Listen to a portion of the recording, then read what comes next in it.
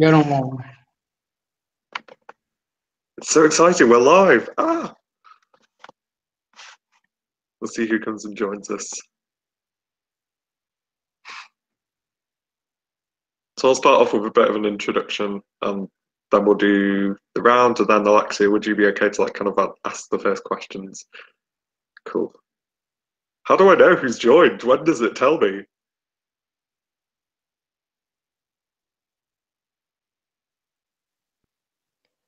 Sorry, you, you asked me a question? Oh no, I was, I was just asking generally, how will we know when people are watching? I have no idea. I have no idea, honestly. And like we, uh, I think we are live because on the top right corner you've got the live. Uh, oh yes. Yellow sign. Ah, yeah. So, well, hello Well world, spotted. I guess. Just have to. I'll have to guess in a couple of minutes if people are here or not. Then. Usually people are going to see it afterwards on YouTube. So all they're going to see is like us chatting for the first few minutes of video of the video.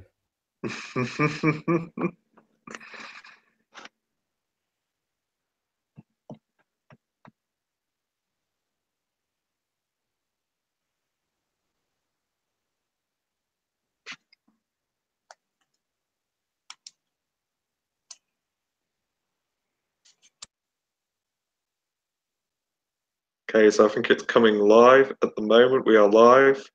Uh, we'll be getting started in a bit. Sebastian has just joined us. Uh, and we will be wanting your questions for this evening's webinar on the most exciting topic of any webinar that FYG has ever done, which of course is reforming the European Parliament, which I know we're all very excited to talk about, but more importantly also how we can engage young people in politics. So we're going to be getting started in a bit. If you've got any questions, do leave them in the Facebook group. Do tweet them uh, at us. That would be fantastic.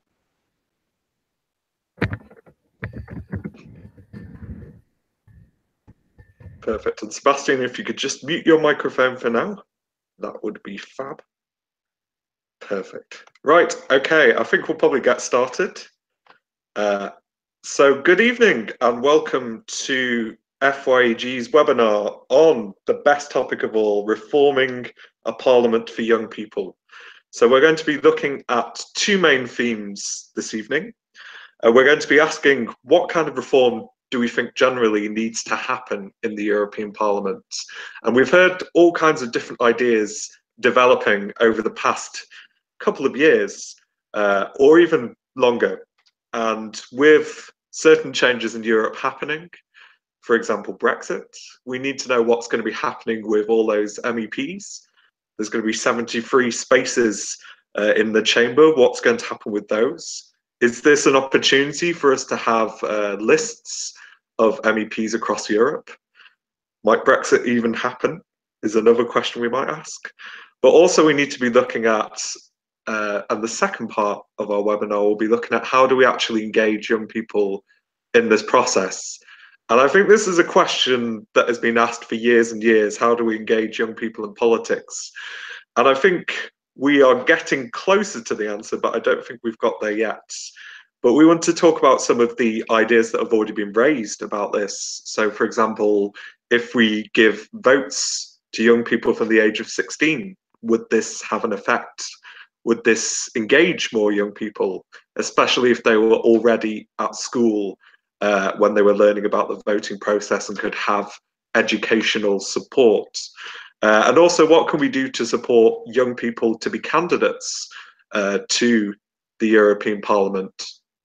And m- many people might not realize that across Europe, there's different ages you have to be to become an MEP. Uh, the lowest is 18, but I believe in some countries it goes as high as uh, 24 uh, in terms of age 24, 25. So, could there be a call to have a common age of candidacy across the whole of Europe? Would that make things fairer? So we're going to split uh, our webinar into kind of two sections. The first section for this first kind of 25 minutes or so uh, is going to be talking about the structures of the European Parliament and how they might change. And then the second part is going to be talking about how uh, we can look at specific measures to engage young people. But I think that a theme throughout is going to be around how these changes will impact the future of Europe.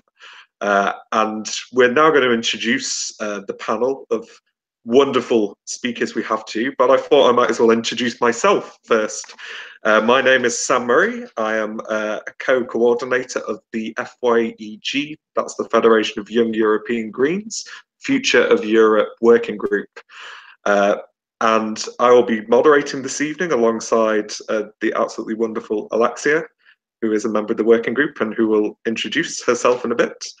Uh, and we have been for the past year talking about all of these kind of issues. Uh, and with a Europe that's going through some quite challenging political times, we've been trying to really get to the answer. And this webinar is an example uh, of these topics and debates that we've been having.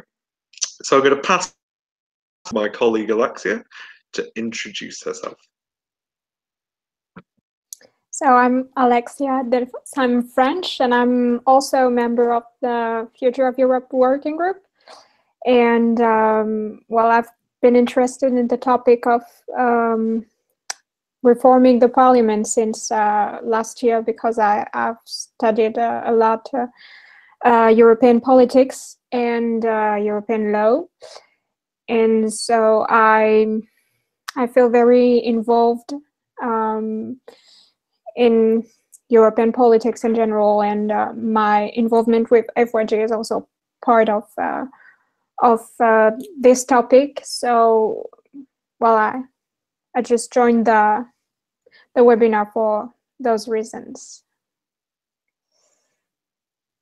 Exciting, and you're going to be helping us ask some of the questions in the webinar today. But if you have any questions, do put them in the Facebook page, uh, or I believe you can probably tweet them at FYG as well.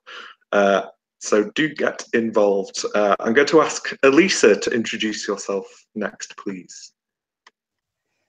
Thank you. I'm Elisa Gambardella. I'm 26 years old and I am a member of the Presidium of the Young European Socialists.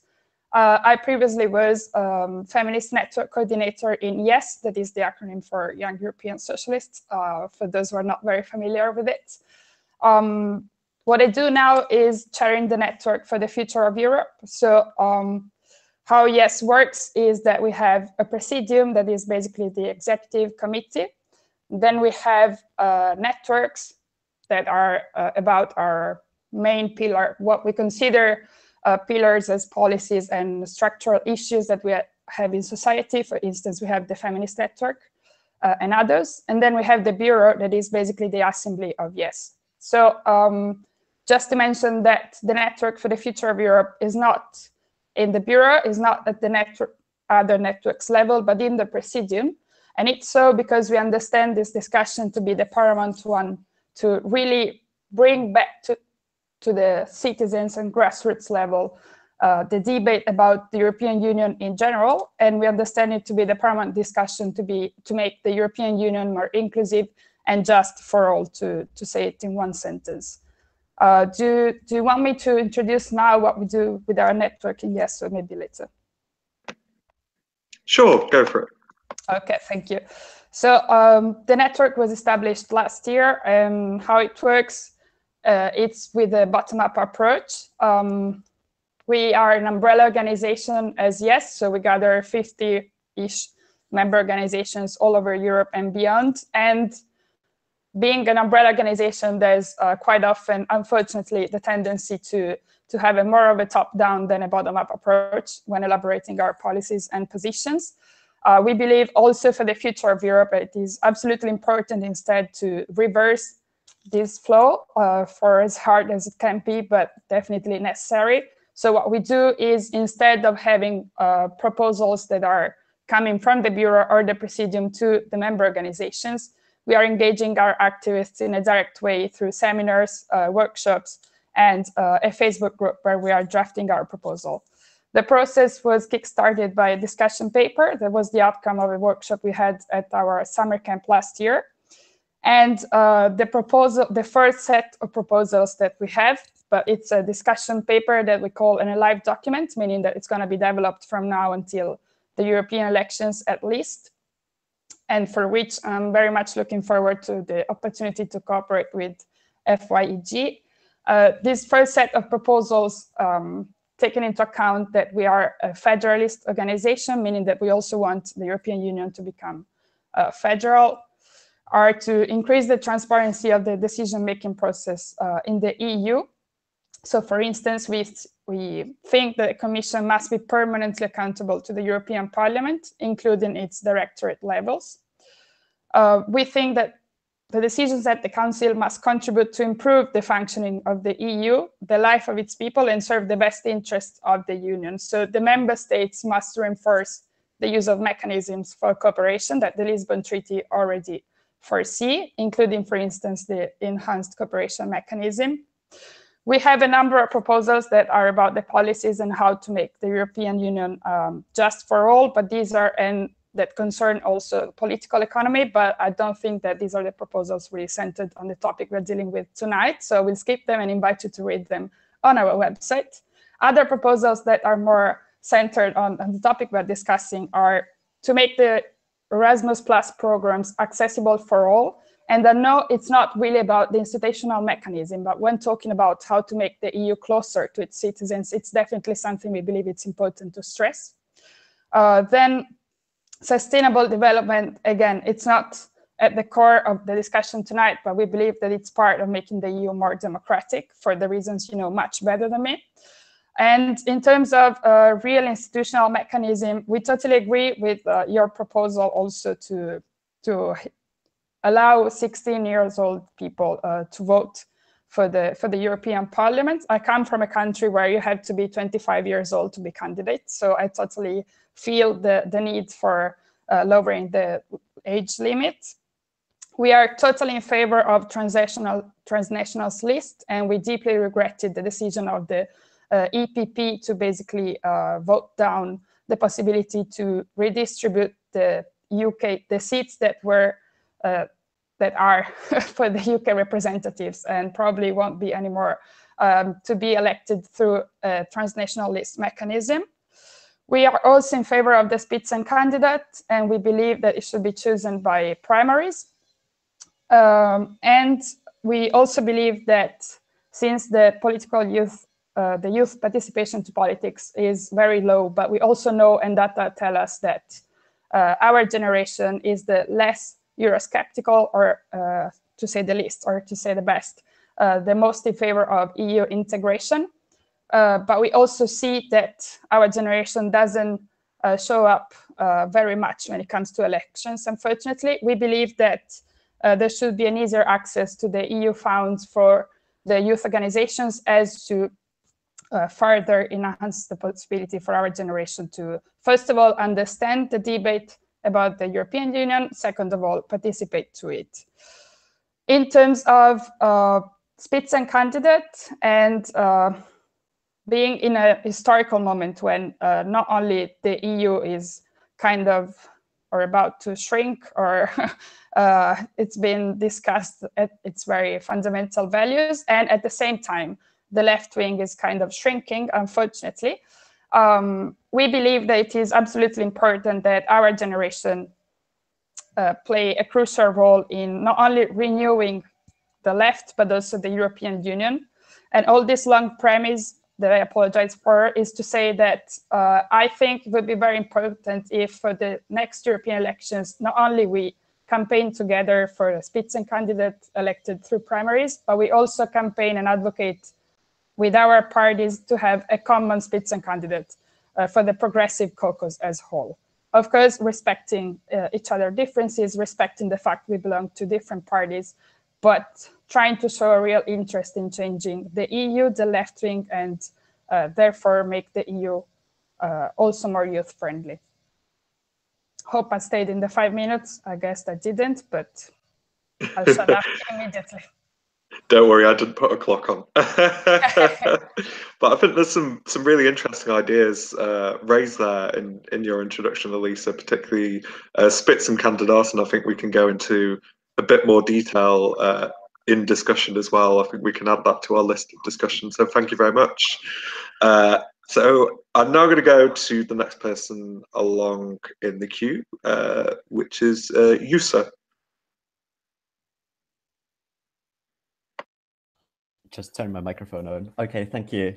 Um, so, hi, I'm Jules Järviniemi. Uh, I'm the president of Young European Movement UK, uh, which is the British section of the Young European Federalists. And at the European level, I'm the co-chair of the working group on European elections. So what we are doing is we're preparing a European election campaign together uh, at the European level. So maybe I'll start from the UK level, what we are doing. Well, keeping the UK in the EU, basically. Uh, that's what was mentioned uh, initially. Um, just try, try, trying to keep those 73 MEPs uh, where, where, they are. But, uh, but at the European level, of course, we are in favor of a transnational list. Um, you might ask how, how those things fit together, but you can always redistribute seats, of course. So um, when it, when it comes to a European level, uh, we are in favor of votes at 16 uh, for the European Parliament, uh, where it is possible according to national national constitutions. And um, of course, Spitzenkandidaten, transnational lists in general, are very strong focuses for us in our campaigning. Um, we also were deeply disappointed uh, when the European Parliament voted against transnational lists in February. But Spitzenkandidaten is something that we keep campaigning for. Now, um, this comes this goes to personal views, uh, but personally, I believe that individual commissioners as well ought to have a democratic mandate. Um, you've got you've got say the Dutch commissioner, the Finnish commissioner, whatever. Um, those people could be elected. Um, the Bul the Bulgarian commissioner at the moment uh, is is is in the commission and entered that entered the commission from the European Parliament after the resignation of uh, Kristalina Georgieva uh, earlier.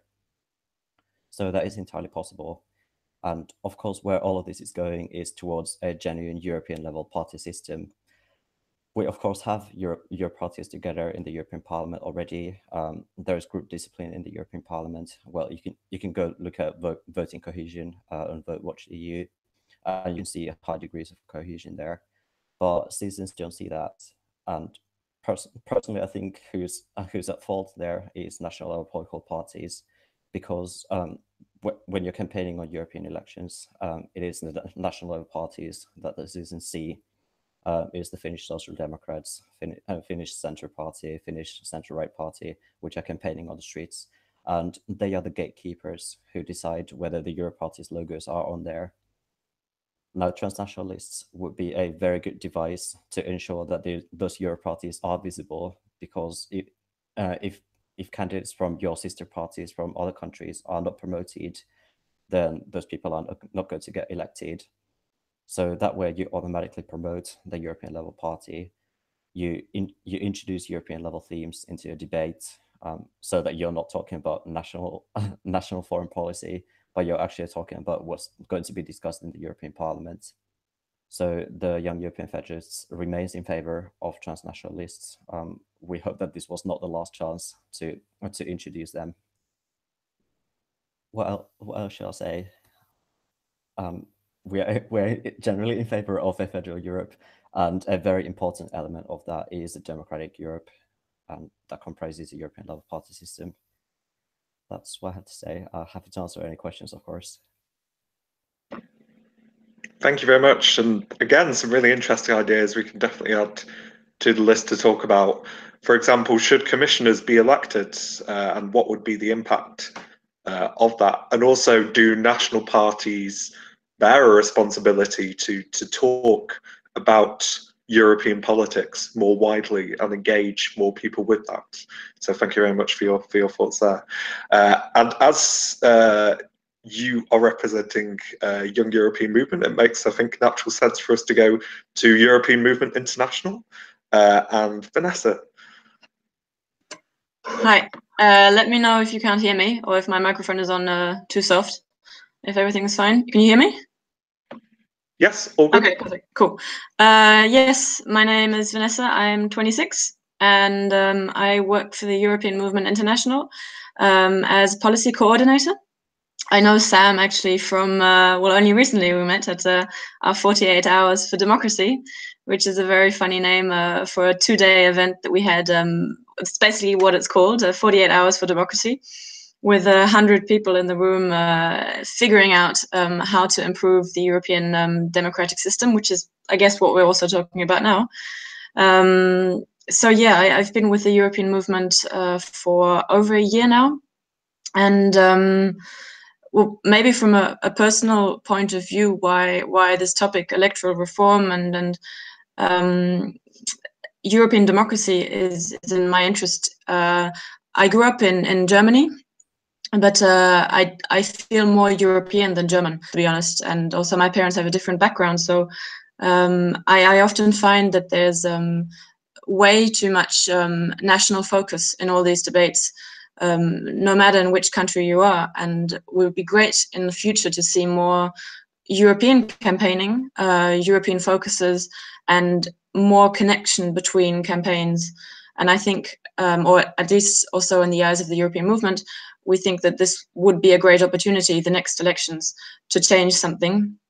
Um, we, of course, also see that there are a few sensitive issues um, we support transnational lists, and it's also disappointing to see um, the recent developments. But I don't think um, that this is going to stop them altogether. And I think also there's a lot of debate at the moment, which is great, and a lot of ideas, which we saw not only at this 48 Hours for Democracy. There were so many good ideas out there how we could change um, electoral system, and also further than that, it doesn't always have to be the electoral reform. It can be ideas um, that run aside from that. I would I would also personally love to see more women in parliament.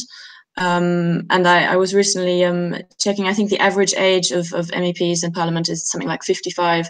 So I would definitely um, like to see more young people in parliament, and also uh, working together with the European Youth Forum. Um, I think there is also a, a lack of um, young people in the voice of uh, of European citizens, and I don't think that's because young people don't have anything to say.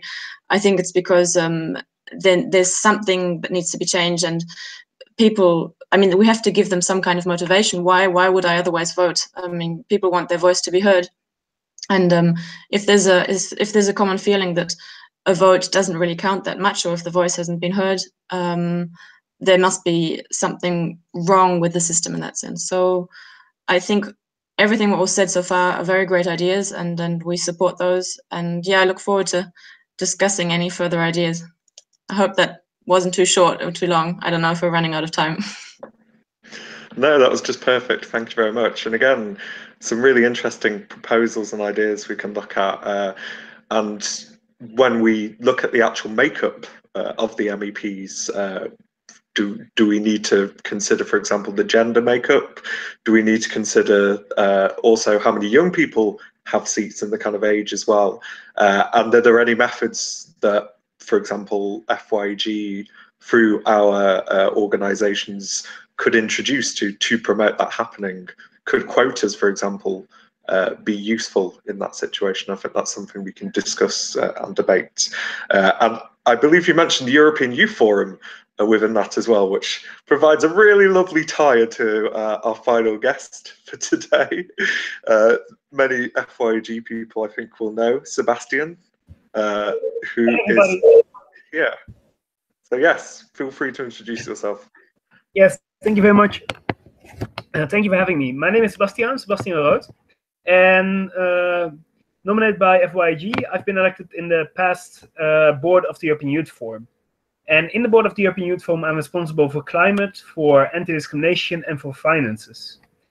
Uh, with the European Youth Forum, we are the platform of youth organizations in Europe, and we unite over 100, 100 uh, more than 100 uh, member organizations, among which FYG, but also Young European Socialists, Young European Federalists, and we are also a member of the European Movement International, so we try to make sure that we are the bridge uh, and that we are making one strong united voice for young people uh, in Europe.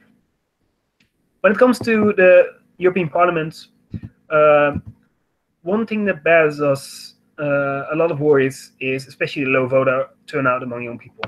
Whereas at the same time, young people are not, uh, young people uh, want to be part of the decision. We have a lot to offer. We bring dynamism, we bring passion, we bring experience, we bring ideas. But at the same time, uh, the way that politics is addressed is not always addressing young people. So, following the last election, we made a study that was called Youth Up. And we made a series of recommendations to make sure that traditional politics are able to respond to the changing phase of young people's participation. And I think the top three of those recommendations are that we need to promote political literacy and critical thinking through partnerships between, on the one hand, schools, formal education, but also informal education and youth organizations. In joint program where they are part of curricula and that foster a more democratic culture, so that young people can actually uh, are empowered to speak up, to be heard. Secondly, we believe that there should be more decision and uh, policy making that truly involves young people and gives them equal decision making power to make sure that we have more uh, young people at the table, and not only at the table, but also enabling young people to really make a valuable uh, impact when they are invited. No tokenism, but real participation. And lastly, and I think that's something uh, that I would like to stress, is that we really believe that the voting age should be lowered to 16 in all elections, including the European Parliament elections. So this is one thing that we would like to stress. Also with our new campaign, Youth Up, well, it's not really new anymore, but we really would like to see that voting age uh, lowered. Also, European Parliament uh, decided that they want to have the uh, voting age lowered to 16. But the problem is that uh, like member states decide for themselves how they organize it. So this poses quite a big trouble. And maybe one last thing to add is that we also uh, jointly with the I think it's the UN Youth Envoy, let me check. that we strongly vote uh, that we strongly encourage the not too young to run campaign that more young people stand as candidates because we believe that if you're old enough to vote you're also old enough to run for office and you indeed see that uh, the the average age of members of the European Parliament is uh, is quite old compared to um, situations where you, for example, would have more of a uh, more of a uh, how do you say that?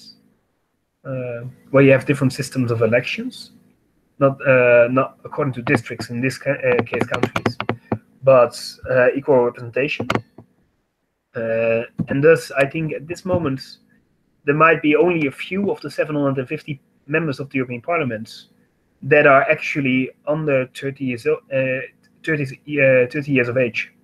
That's also something that we stress not only to lower the voting age, but to also encourage any young people to run, because we need as many young people as possible also to be elected as representative, to make sure that more young people uh, feel uh, encouraged to get engaged with politics.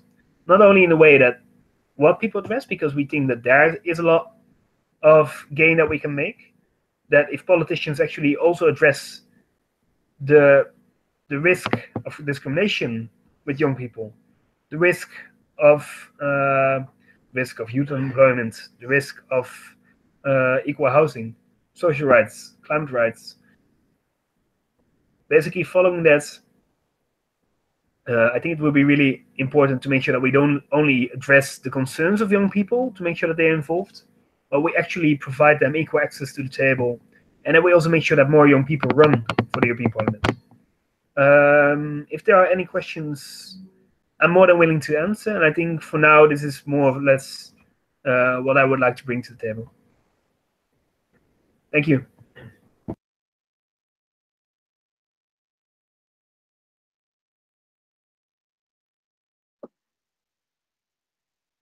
Perfect. Thank you very much, uh, Sebastian. And some really interesting themes again there uh, I think we need to pick up on. And it's great to see that there are programs encouraging actively uh, for young people to actually put themselves forward to be candidates and, and have that representation. Uh, and also the Youth Up campaign, which I'm sure many people viewing will, will be uh, familiar with. So uh, we're now going to get into the meat of our discussion. We've actually only got about half an hour left. Uh, so I think that we'll probably combine the kind of topics together in terms of the questions uh, and we'll just kind of see what unfolds. Uh, I think there's a whole variety of themes that do connect in quite nicely. Uh, and also, if you would like to submit your questions, please tweet them at FYG and also submit them through Facebook. So I'm now going to hand over to Alexia, who is going to take us through the questions.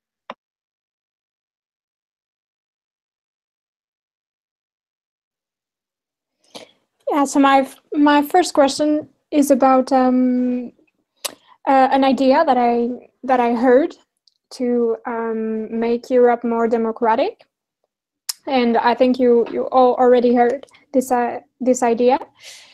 Um, so I was wondering if, for example, a citizens citizens chamber would be useful to increase uh, democracy in Europe, and or do you think we can find other solution solutions more um, that would be more useful to to increase democracy, or do you think uh, it would not be the solution?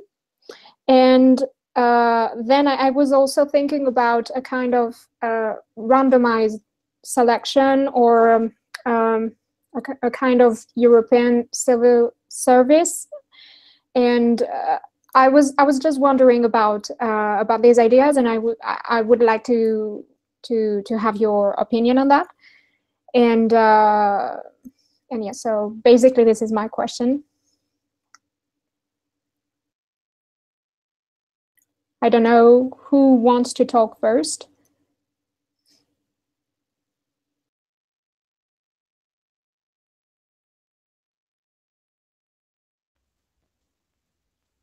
Um, I might, I might as well begin. So, um, so you were uh, you were talking about um, citizens conventions, right? Uh, the idea by Emmanuel Macron.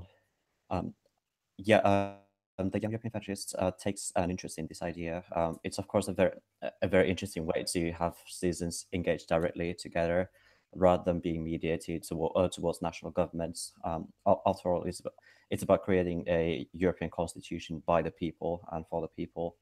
And it seems like it seems like an interesting idea. Um, I, I, know that there are some caveats with it. Um, it, it, might it might be that uh, after all the questions do come from national governments um, if there's not enough european european wide content then it becomes a series of na national consultations in 28 countries rather than one european consultation for one european demographic uh, european demos so there there are potential issues with the idea but in principle it seems rather interesting and i know that many of our members are quite involved in, in these things uh, in the other endeavors uh, when it comes to European civil service, of course, the European Commission already uh, already has many many such functions, and we are we are committed to developing the European Commission further.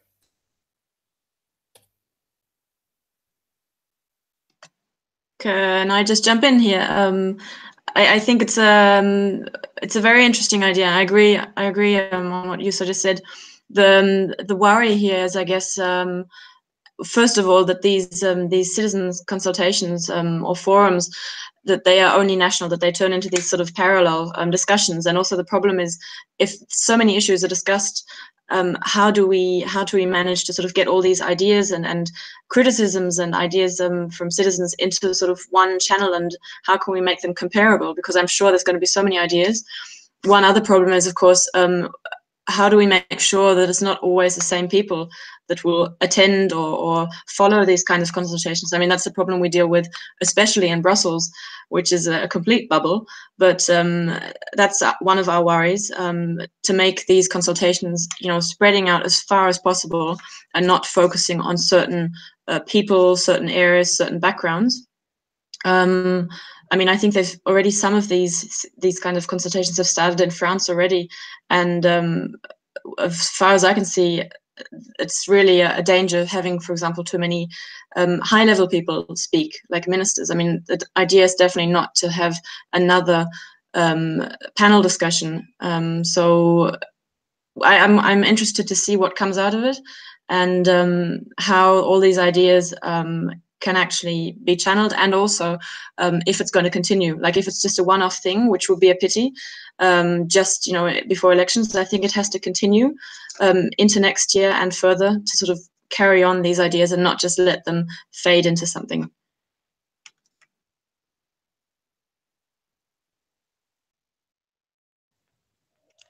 Can I?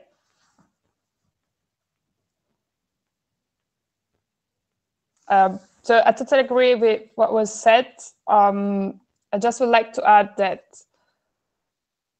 just as it was said now, I mean, if it's if these tools are meant to be just another uh, way of having high level meetings, it doesn't make any sense for me because the point is uh, what Sebastian said before, that, so that we need definitely to increase and improve political literacy, especially not only, but especially regarding the European Union. So while instruments like the European Union Civil Service or uh, like one of our proposals to make the Erasmus Plus programs accessible, for instance, for all the apprentices and the workers as well, do make the EU closer to the citizens.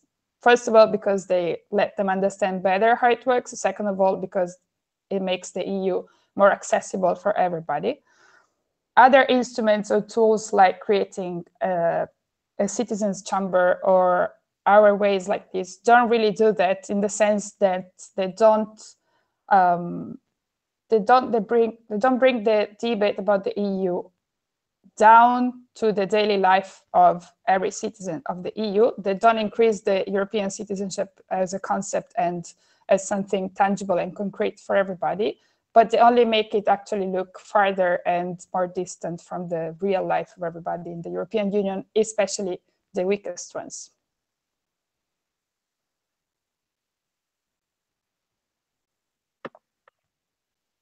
I think I would uh, agree with that as well to a point. I think one of the challenges that we're facing is the fact that a lot of these ideas are coming from a kind of top down hierarchy.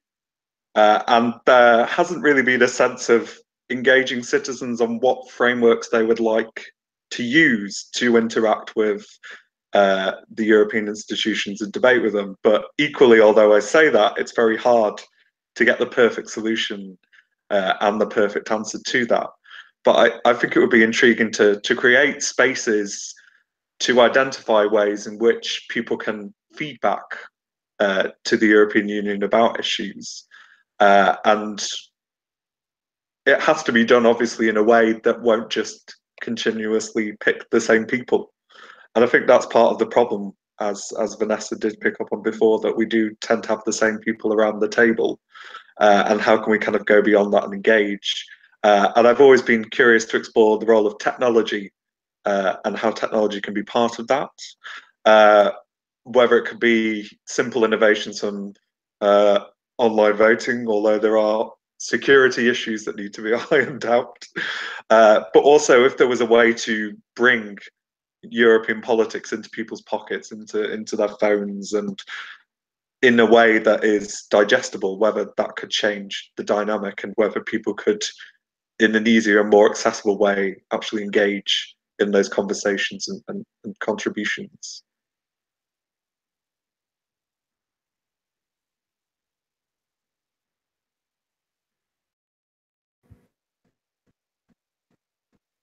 Fantastic. Can I? Yeah, thank you. Um, I want to respond to both Elisa and Yusem. In one, one of the things with the European Youth Forum that we try to do is empower more young people. Uh, we want to make sure that youth organizations are actually reaching more young people, not only the privileged, but like, and we believe that youth organizations are doing so, but we want to do even more. We want to do even better. We want to go even beyond greatness. And one thing that we are now fighting for, and that we hope that you all support us for, is that we want to actually after Erasmus Plus budget multiplied by 10. This is not just some random ambitious, oh, look at young people being uh, being uh, uh, dreamers. Actually, a lot of member states are actually supporting our claim to increase the Erasmus uh, the Erasmus Plus funds by 10 times. So this is something that we are fighting for, that funds for youth organizations are going to be multiplied by 10. So youth organizations can empower more young people. So also more young people and different young people are able to find their way to the table. So if you would be willing, please support us with this important campaign to make sure that with Erasmus stamps, then more youth organizations can empower more young people to have an amazing life-changing experience. Uh, and more youth organizations are able to do the greatness that they're doing every day, but then in a better way, better finance, better equipped. Thank you.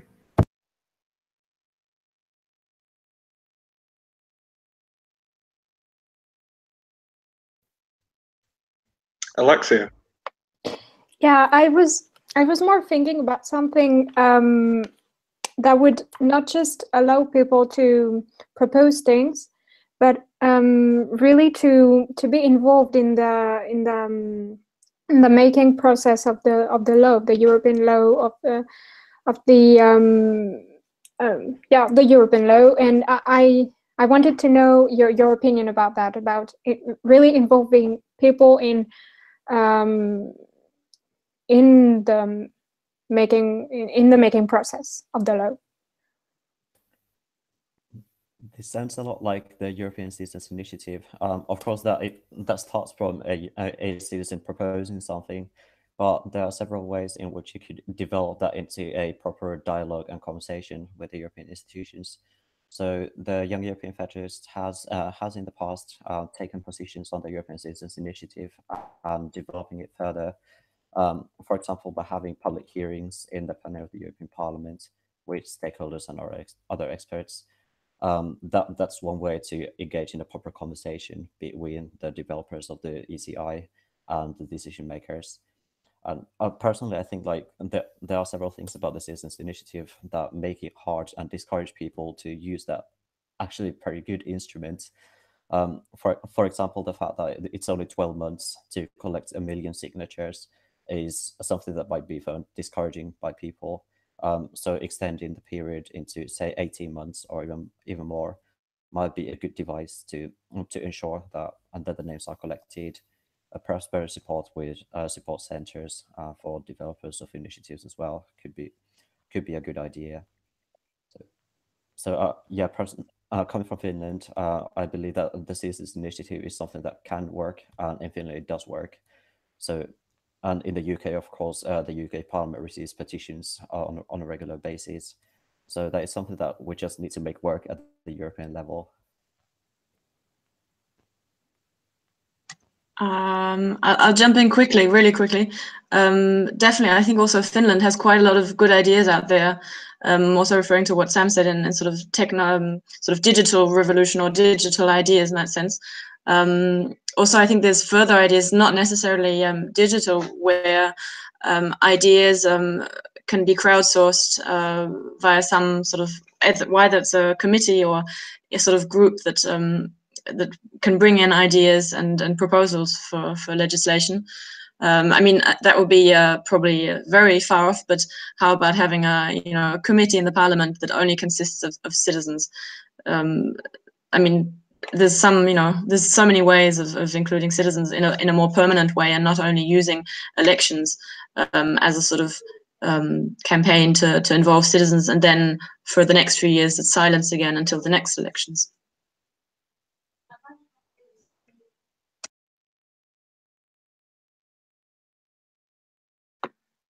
No, definitely. I think I think that's a really good point. And uh, going back to the point about the petitions and the citizens' initiative as well, uh, I think that one of the most positive experiences I've seen of petitions used in democratic processes uh, has been through the Welsh Assembly uh, in the UK, in which the barrier originally was very low actually, and they ended up. I think it was only ten signatures to begin with, but it went up to I think it was about 2000. Uh, and the first thing to come through was uh, a motion called uh, by local musicians and local fans of musicians uh, to protect music venues in Wales. Uh, and they wanted to introduce something that was called agent of change principle, which means when somebody decides to build a block of flats next to a venue, they have to pay for the venue to have soundproofing. Uh, and with this one petition, it became the first to reach the new threshold. It had to have a parliamentary debate, uh, and it was very clear that this was something that was a serious change that was needed, but also something that uh, was purely led from a grassroots level by citizens as opposed to being taken on by party politics uh, and had a really positive effect uh, as well. So I think that those kind of things can work, but whether a million is a figure uh, for a European Citizens Initiative, does that mean that these campaigns can only be led, for example, by NGOs, as opposed to truly being citizen led? And is that a good thing or or a bad thing? I think we can have that discussion uh, and debate. Uh, I'll pass back to Alexia now, I think, for the next question.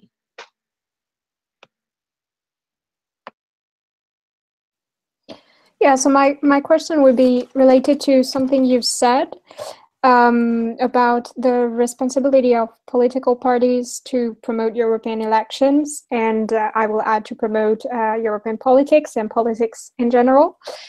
Um, and I was wondering if um, if we could do something to um, to uh, improve the involvement of uh, people and young people in European politics, because I feel this is my opinion. Maybe you will disagree that because in my country I feel that young people aren't very engaged in politics in general, and so in European politics even less.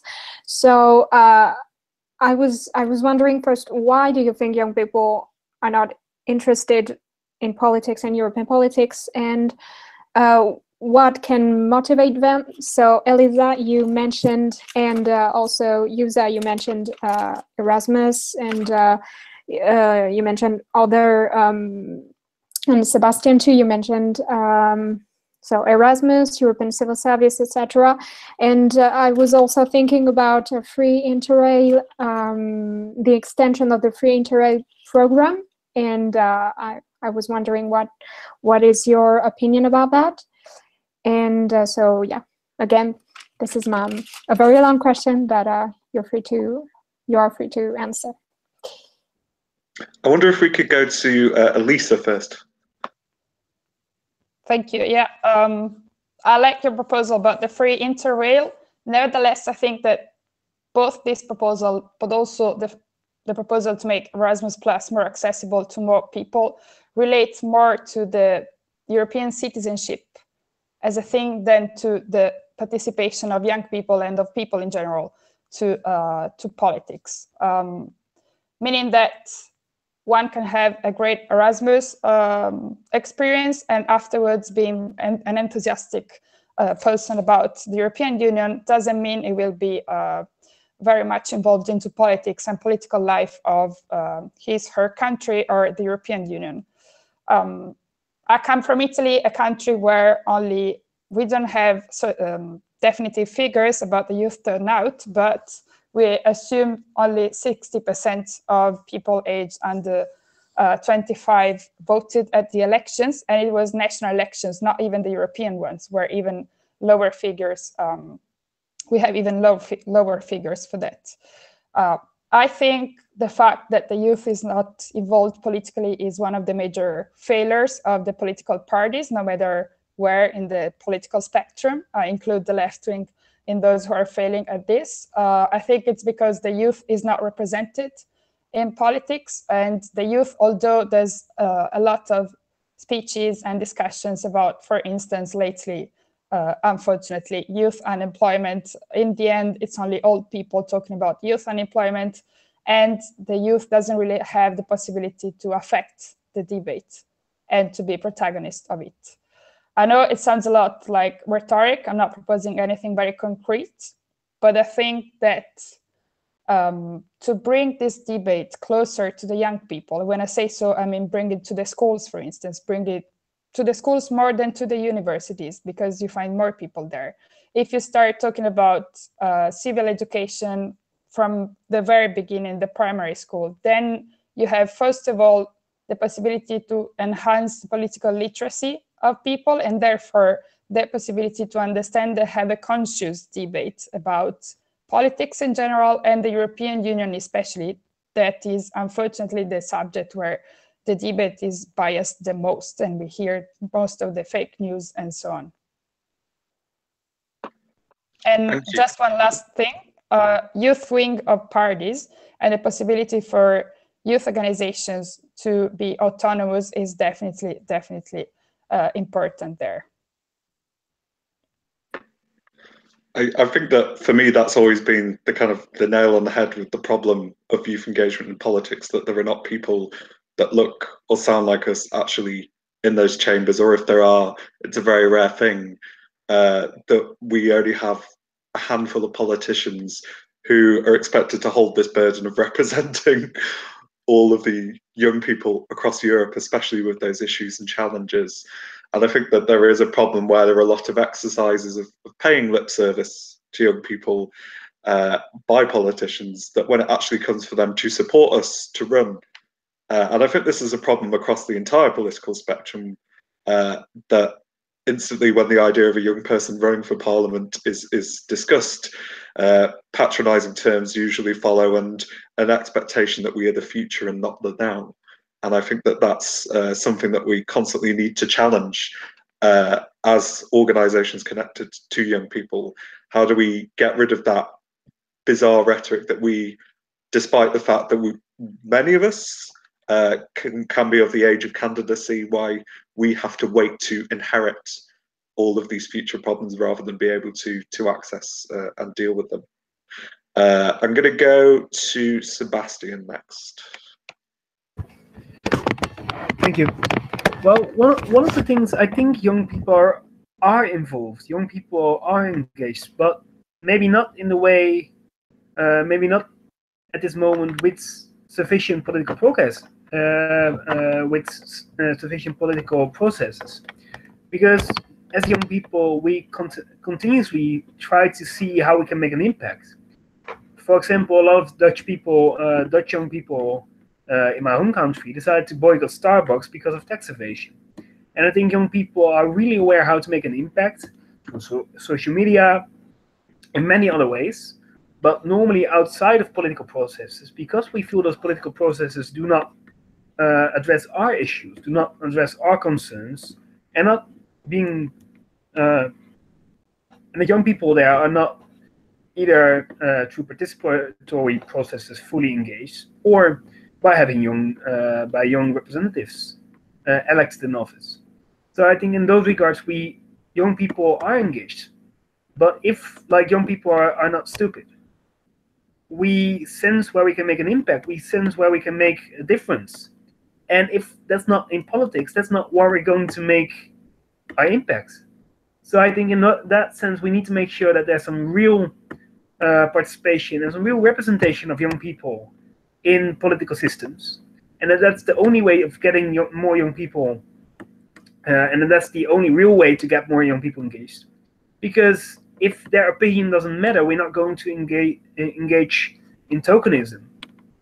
I think uh, young people are smart enough to see when they're just invited for the picture and not for the real participation. So if we are making an impact, then we will join, but otherwise we will contribute in a different manner where we can make an impact. And I think that's something that's strongly powerful about our generation, but it's also something that is struggling and it's indeed a challenge of general political process to make sure that young people are invited at the table and are able to make an impact. And then young people will come. Don't worry. Thank you.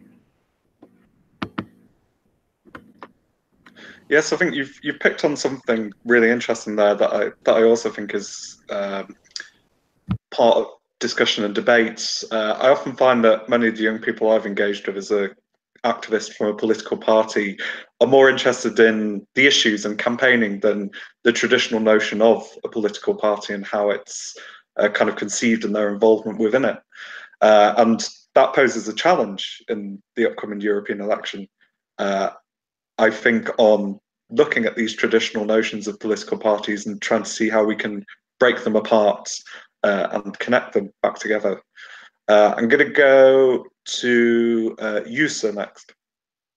Um, so one interesting thing is about European ele uh, uh, European elections and transnational lists. Um, um, I gave it a bit of thought in an article on the New Federalist, the JEF JEF newspaper. Uh, I can I can put it on the YouTube live feed so you can read it as well.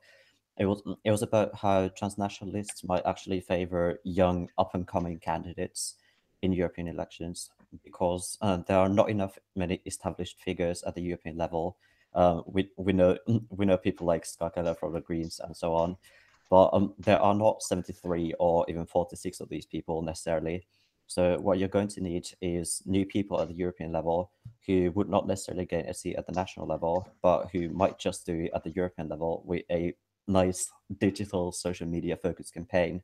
Because that frankly is the easiest way to reach 500 million people.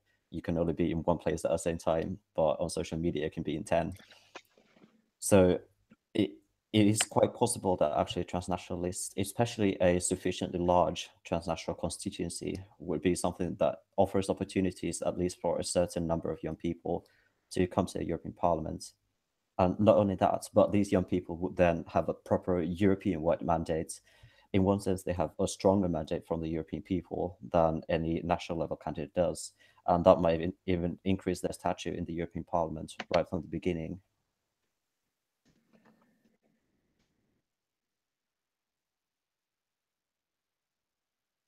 Thank you very much. Uh, Alexia.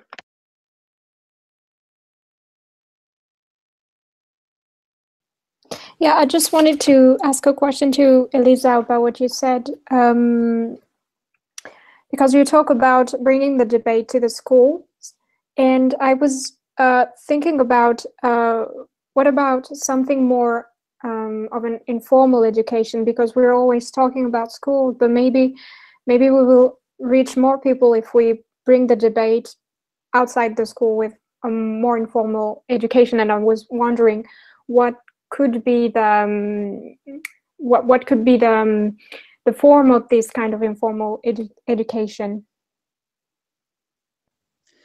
Yeah, uh, I mentioned the school because um, it's the place everywhere, at least everywhere in Europe, where um, people from all kinds of backgrounds gather, come together, and learn the same things. So that's why I was referring to public education and, and schools.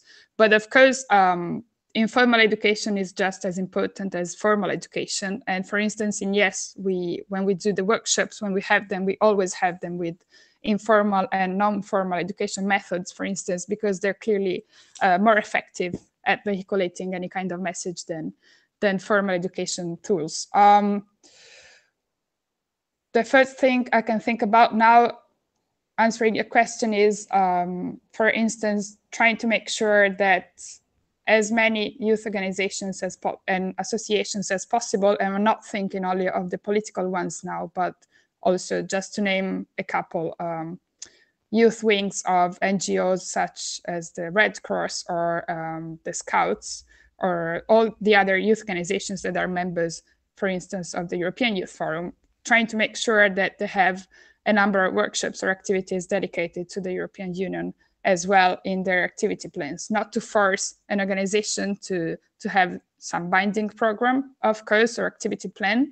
But this is the very first thing I can think about now when you ask me what kind of informal education ways we could have uh, to bring this debate to to the places where the young people go normally and not because they they are interested in the European debate at first, but maybe where they can become interested in it. Thank you for that, Elisa. Uh, Sebastian will sadly have to leave us, but I just wonder if you could just offer us some quick final thoughts before you have to go. Yes. Um, well, thank you very much for this uh, for this webinar. It has been very interesting. Thank you all who joined. Uh, thank the other panelists for uh, for your contribution and for the really interesting questions. Uh, I think in general, uh, concluding, I want to echo uh, I want to echo our three most important recommendations. Make sure that we that we actually engage youth organizations and schools in making sure that we promote critical thinking but by truly empowering youth organizations, among others, with more uh, funds for Erasmus Plus. Secondly, that we also need to lower the voting age to 16, and not only lowering it in all EU countries, but also making sure that more young candidates are running. Uh, and lastly, I think we need to make sure that young people are having more meaningful places where they can actually sit at the table and make an impact. And I think with young people enabled and empowered to make an impact, great things are going to happen. Well, we need to go there. And for you, the question how do we make sure that young people are able to make an impact? Thank you very much, everybody. Have a great evening. And I hope to see uh, many of you soon in person. Thank you. Bye bye. Thank you very much, Sebastian.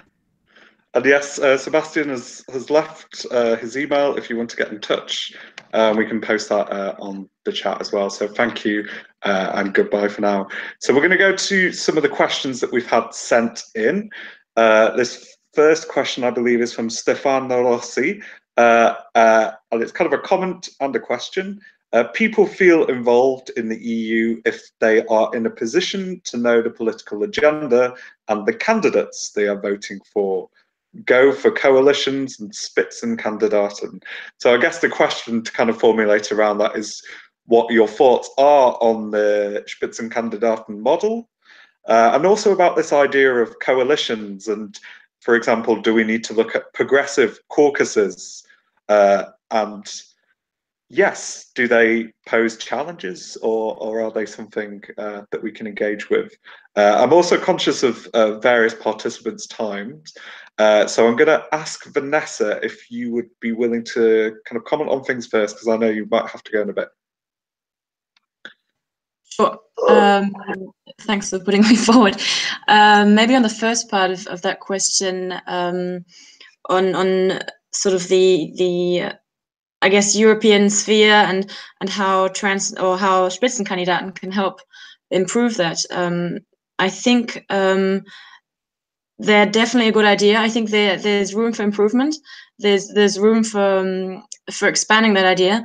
Another idea to add here, um, which is kind of linked to it, is also um, European media. I think media plays a big role um, aside from us, aside from all these organizations that are involved and that can um, that can um, inform, uh, that can can help citizens um, build their own voice and opinion.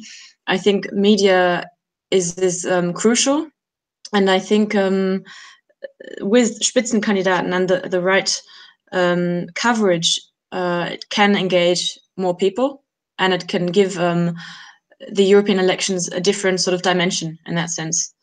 Um, but I think it's a very new idea, so um, it's definitely not not perfect yet. Thank you very much. Yes, and one of the things that I think would be a really interesting proposition uh, is also if uh, there was a kind of model similar to Spitzenkandidaten to promote youth candidates, uh, and whether we could perhaps see uh, a kind of at least a debate between candidates that are kind of representative uh, of the youth side of the various uh, political parties running as well, and whether they could have a model where we have kind of the youth candidate representing at least at that debate, if not throughout the campaign as well. Uh, I'm going to go to Elisa next on this point. Uh, yeah, we yes is uh, is in favor of the Spitzenkandidat process. It's true, it can be improved, uh, no doubt. Um, I agree with what Vanessa said about the media coverage as uh, a very crucial part of the process to make it wider and really more democratic. In terms of uh, coalitions, I believe would be important. Well, from a left-wing perspective, I think it would be uh, absolutely fundamental to make to increase the chances for the left wing to win to win the, the next European elections, but also in terms of uh, democracy and improve the understanding of European Union functioning for the citizens, would be important for them to have a clear picture of what parties could be allied with what other parties in um, in case they get enough votes to to have the majority in the commission and the parliament. So um, yes, I'm in favor of it, as I said at the beginning. And for the young people to be more protagonists of it. Um, I think the primaries should be the way to choose the Spitzenkandidates to to increase the chances for a young person to be the candidate there. Thank you very much. Uh, Jussi? Um, yeah, I would just like to reiterate that the Young European Federalists is strongly in favor of the Spitzenkandidaten system, but yeah, certainly believes that it should be developed.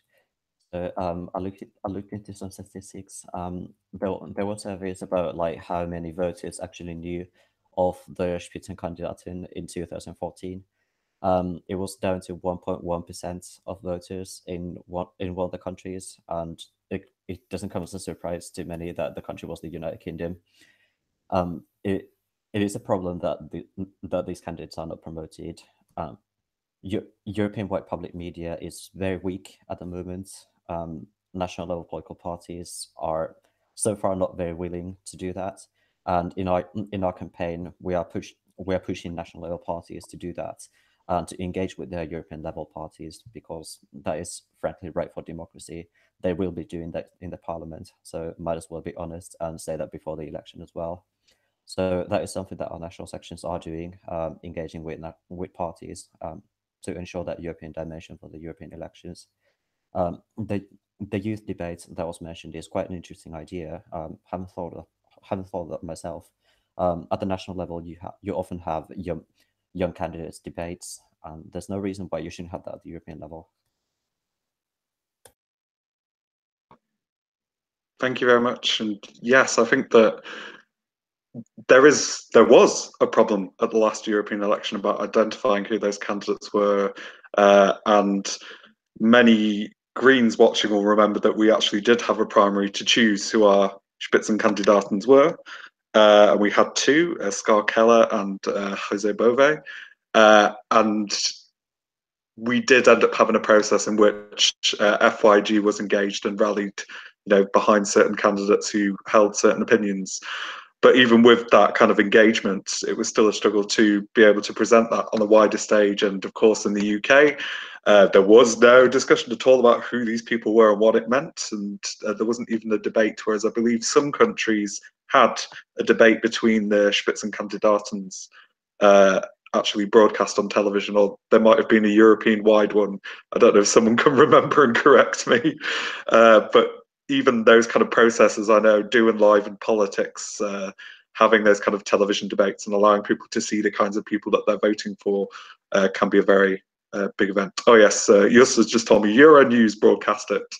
And yes, the UK does watch Euronews. oh dear. Uh, Alexia, do you have some thoughts you want to share on this? Yeah, that, that would be uh, kind of repetitive, so I don't have any thoughts on it. I will let let the I will let it as you said. Okay, doke. Well, we've got another question that has come through uh, from Christy, uh, who's saying that voter participation in European elections is declining uh, since its opening to the public. In fact, the last European election had the lowest ever turnout. Whatever the reasons are, do you believe that compulsory voting might be an option to get people closer to the federal level of Europe. So that the idea of compulsory voting is, I believe, you get fined if you don't turn out and vote. And I think Australia is one of the only countries in the world where where this happens. Uh, just because of time, uh, I'm going to go to Vanessa first, uh, and I'm aware that you'll have to leave us in a bit. So if you want to offer any final thoughts and kind of wrap up, feel free yeah, I think this will be my final thought, and then I'll say I'll say goodbye after a really interesting discussion. Um, I, I, personally don't think that compulsory voting um, is is the solution. Although I think, um, I mean, looking at some countries, you do see an increase, of course. I mean, but I don't think it's the the proper solution behind um, getting um, a higher a higher turnout. Um, I think it's not addressing the proper reasons behind why people don't go to vote. I think we've discussed already quite a few of these these reasons, and um, primarily I see that people are maybe more out of touch, not um, feeling represented by the people that are actually meant to represent them. So if people don't go to vote, um, make forcing them to go to vote is not going to solve the problem. So um, on this, I'm gonna I'm gonna say goodbye and uh, thanks for inviting me to this webinar. It was very interesting to talk to you, and I, I really do hope that um, we get to meet in person. Thank you very much, Vanessa. And you can find out about European Movement International uh, by going to their website, and you can Google that. We can post a link to that. Uh, and you can always get in touch with them and find out and participate in the amazing workshops they do. I'm sure there'll be another kind of 48 hours for democracy or a similar event coming soon. So keep your eyes peeled. And thank you very much to Vanessa for giving your time to talk to us this evening. Bye. Uh, okay, we're gonna go next uh, to Jussa on this topic. Um, thanks. Um, Vanessa really said it all on mandatory voting. Um, I completely agree that it doesn't address the fundamental reasons why people are not voting. Um, we have been talking about how the European Parliament has been too weak for uh, to gather people's interest. Um, the Parliament has grown stronger over the decades, of course, but it's still not quite there yet. Um, of course, media coverage of the European Parliament is another thing. people people don't really see the European Parliament on the on their TV screens and they don't see the parliament making decisions. They don't they don't see the uh, they don't see the seats in the European Parliament mattering that much uh, in their in their lives, and that that's because the European Parliament is strong, not strong enough, uh, perhaps not politicized enough. Um, it it it doesn't give you intent, incentive to go to the polls. That's what that's one thing to fix definitely, and well, I'm, I'm just banging on about transnational lists and Spitzenkandidaten, but I believe that both both might, might be quite appropriate solutions to this. Transnational lists would add new spice to the European elections. That's something that humankind has probably never done before. Uh, that, that's a unique that's a unique selling point for the European elections. And of course, Spitzenkandidaten is something that lets you decide whether uh, whether it's going to be Juncker or Schulz or someone else who becomes the European Commission leader that is a clear choice uh, for the people. Um, that's that's a choice that they already had in 2014. We just need to make it clear to the people, and that will bring them to the polls. Thank you. Uh, and I wonder, Elisa, if you have any thoughts. And also, I think that it's quite interesting if we do keep following the Spitzenkandidaten model, uh, do we run a risk of turning it into personality politics would be the kind of question attached to that. Could that be a potential downside if it becomes a presidential uh, debate and discussion? So we'll go to you first, Elisa, and then Alexia, if you want to add your comments in afterwards. Thank you. Um, I agree what was said before, so I won't repeat it. Just would like to stress what Sebastian said, also replying to another question, so that it's not the interest in politics that it's so low, but the interest in voting for people that are not really representing you or, or not perceived as potential real representatives. And that's also why I think it's absolutely important for our generation to make a great effort to renew our parties and make them more closer and they make them more relevant basically for our citizens because it's true the turnout is getting lower and lower for the european elections but the same goes for national elections um, making elections compulsory wouldn't solve it. Uh, what would solve it would be to renew the political parties in a way that are more inclusive and more um, and look and are more representative of the, the people needs and demands. Um, I agree that there's a risk of um, making European politics more about personalities than proposals and platforms by giving too much importance to the Spitzenkandidat process.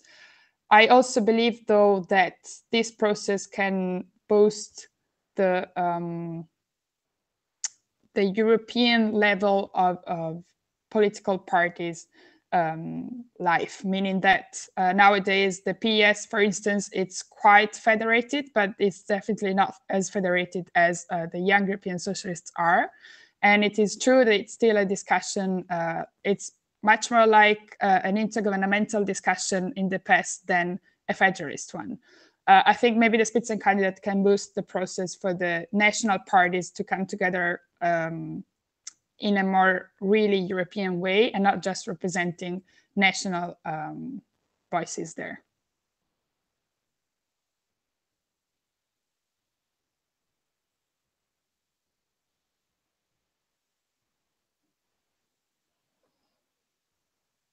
Yeah. So can I? Yep. Okay, so yeah, I I agree, I agree with uh, all of you, and I, I, think I think yeah, it's about uh, bringing Europe more more close to people. But I'm I was also wondering about um, the European Parliament visibility, and um, I was wondering about um, the the the um, usefulness of um, kind of advertisement to to uh, bring the work of the European Parliament more close to people. I think your solution is federalism, but um, do you have? I mean, do, do you have other solution to to to advertise the work of the European Parliament, or or would it be your your only solution. Um, is it my turn?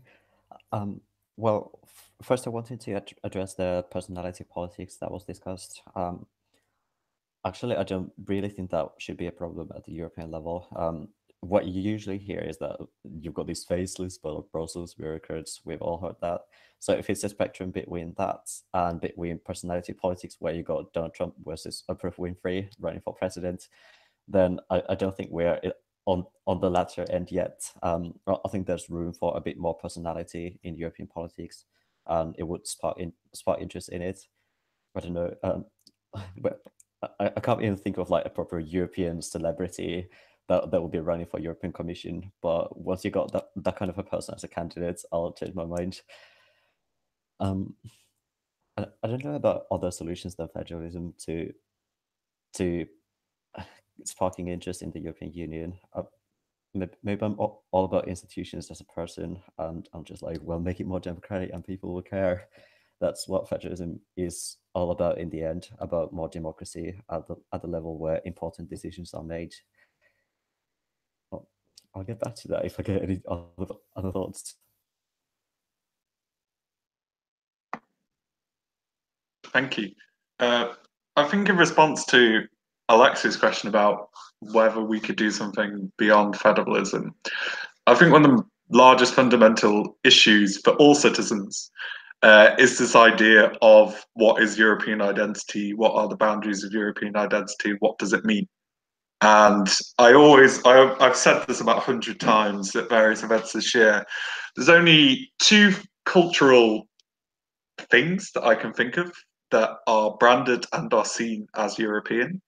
Uh, the first is the Eurovision Song Contest. And I love the smiles that I get when I say that. I love it. It's amazing. Uh, and the second one, of course, is the European golf team for the Ryder Cup.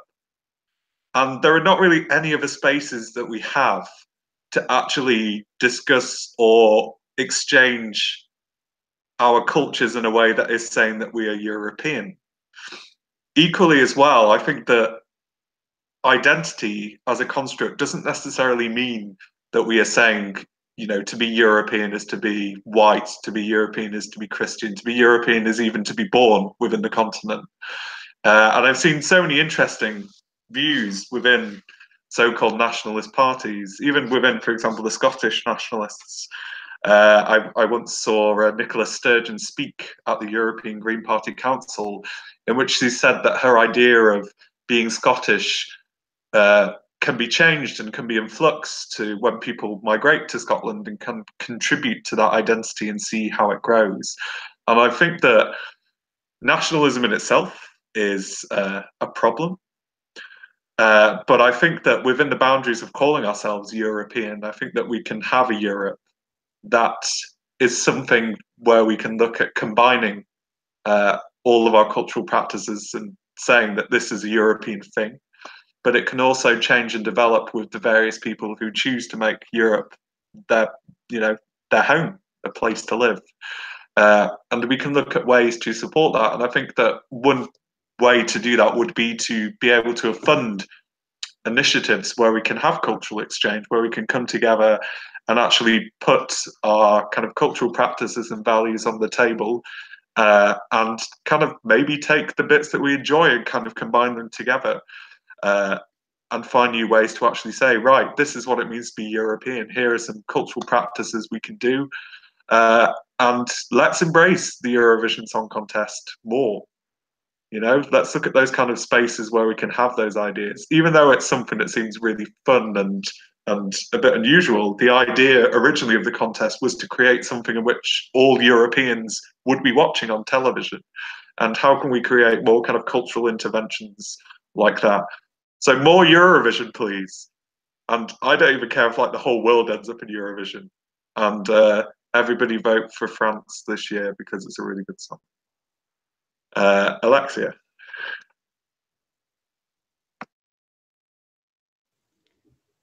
Yeah, we have a question from Stefano Rossi, I think. Yes.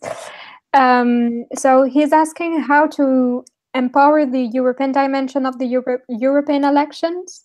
And why not insert a common logo or the name of the Spitzenkandidat in the symbol of all the national parties for the European elections?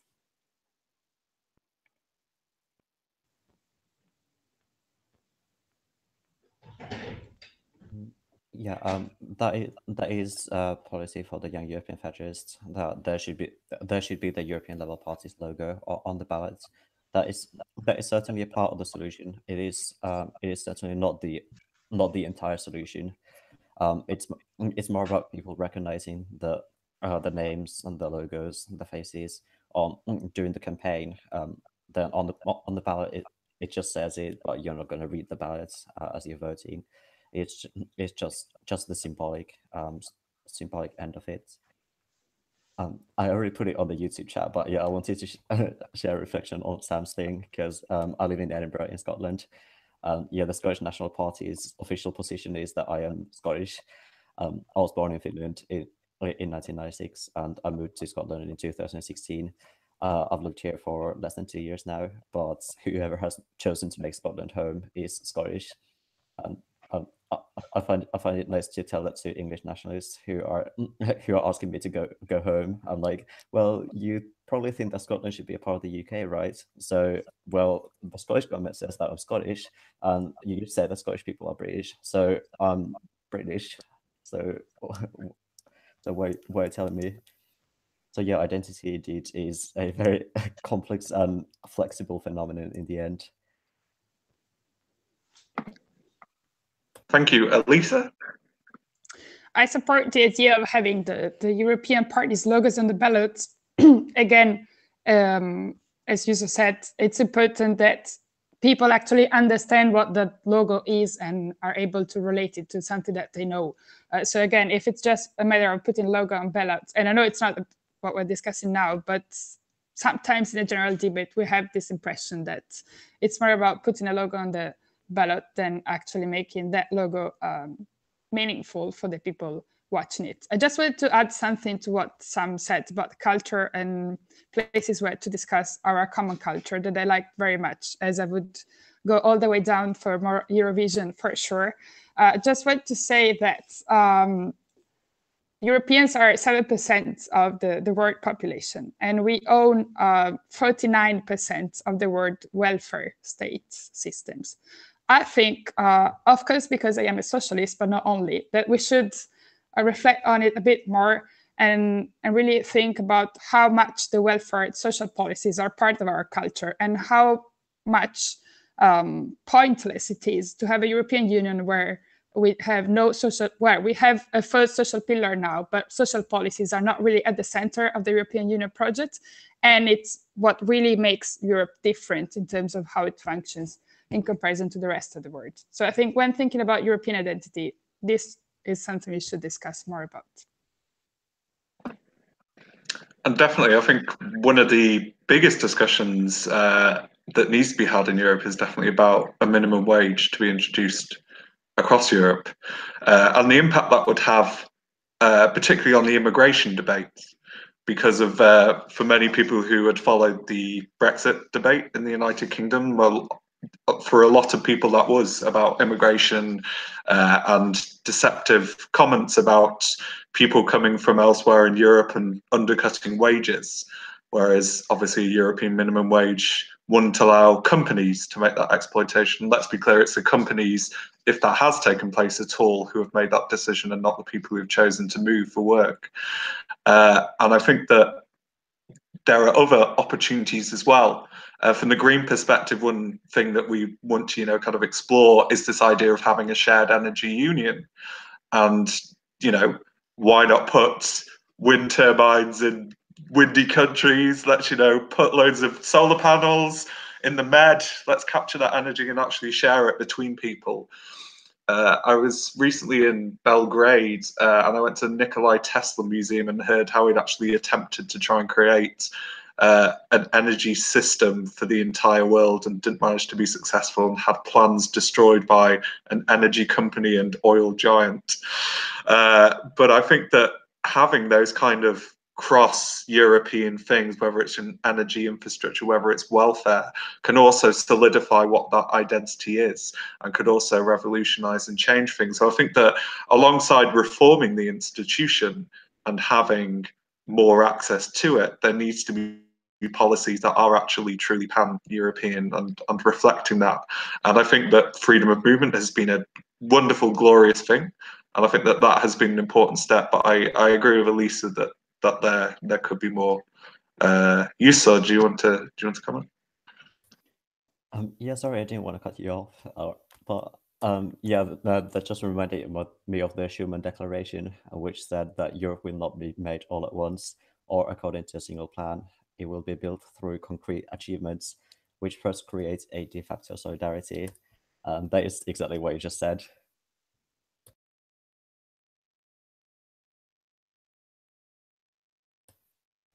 So yeah, indeed. Um, maybe maybe I'm going off on tangents a bit now, but um, that's something that we are struggling with with Young European Movement UK, of course, uh, here in the UK. This Britain's problem with Europe. You know, like for 40 years, it has been this other, a bit hostile, um, the the other side of the table. But um, what what the UK really is is a part of the European family. So that that is a deep cultural change that has to take place in the United Kingdom. Uh, beyond Brexit, uh, whether or not Brexit happens, that is still something that the the United Kingdom has to over, overcome in order to be a prosperous, peaceful, stable society. And yeah, like I, I, believe that youth organizations are actually in the best position to do that. Um, we we can mobilize people, uh, we can unite them together with these progressive ideas, and then we'll go there and make a change and spread to our children as well. Oh, that's so inspirational! I love it. Absolutely fantastic. Uh, so we are coming sadly to the end of this wonderful discussion and webinar. And thank you so much for the people who've sent questions in via Facebook, Twitter, whatever else we had going on. Um, and as we've only got about three minutes left, uh, to leave us on a really positive note, uh, I'm going to ask everybody uh, to kind of contribute one thing that they would like to see happen in the future that can make European Parliament more accessible for young people. So, what kind of big change do you want to happen? Uh, and I'm going to start off. I can see people's faces thinking, so I don't want to like suddenly put somebody on the spot. Does anyone want to go first? Who's got an idea? Can I? Yeah, go for it. Uh, I really wish to see something also a bit, I think, quite realistic in the end if we want it. Uh, I wish to see a huge common campaign uh, by the youth wings of the Progressive Caucus uh, parties uh, that is centered on youth political participation to the European elections. I think it's just a first step, doesn't make the parliament more accessible for the youth, but it's a first step to start with. I feel that's a really tangible step that we, we should definitely do. Uh, okay, thank you very much, Elisa. Uh, who wants to go next?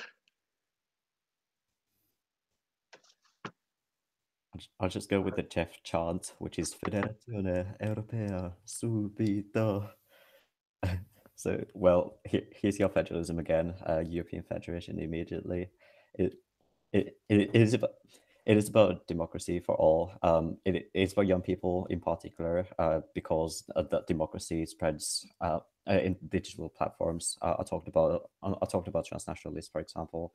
It, it where it actually is going to take place is on the internet, and that's where I spend time at least. Thank you very much, Alexia. I was thinking about an educational program, uh, but I don't know which which concrete form would it would it um, take. I will think about it. Wonderful. And my kind of final thought I want to offer is I think that we should see a youth debate between all of the youth wings happening during the election next year, and let's you know maybe have a youth equivalent to the Spitzenkandidat, and, and let's see more young people running. You know, I'd love to see some of the people in this chat run. Uh, I can't because I live in the UK. but if there's anyone out there watching, do consider running for Parliament. Do consider putting yourself forward because we need you. We need your voices in there, uh, and you can have the ability to make change. Uh, we often talk a lot in FYEG about one of our MEPs, Terry Reintke, who joined uh, before the age of 30 and has made such immense differences and was in Time magazine uh, as part of People of the Year for being part of the Me Too uh, campaign as well. So you can actually make amazing change and differences. Uh, and thank you very much for watching the webinar this evening. Thank you to uh, Vanessa and Sebastian, who sadly had to leave us earlier. Thank you very much to Yusa. Thank you very much to Elisa, and thank you to my colleague Alexia for what has been a fascinating discussion. Uh, you can continue the debate on Twitter. Uh, I really hope no one gets trolled about this, but that's the way these debates go, isn't it? Get rid of trolls. There's another, another engagement. Uh, but you can also uh, follow uh, our respected people on Twitter. You can see the tweets that we put out about that, and keep your eyes peeled because I've got a feeling that the people in this poll are going to be working together over the coming year on saving the future of Europe. Uh, and whether that includes the UK or not will remain to be seen. but thank you very much for participating, everybody. Uh, and I hope you all have a good evening. Uh, and thank I think we can. I'll just go quickly say big, big thank you to Javier as well, who hasn't been seen or spoken, but has been behind the scenes making tonight work. So thank you so much, Javier. Uh, and with that note, I think we can cut and go off air. Thank you again.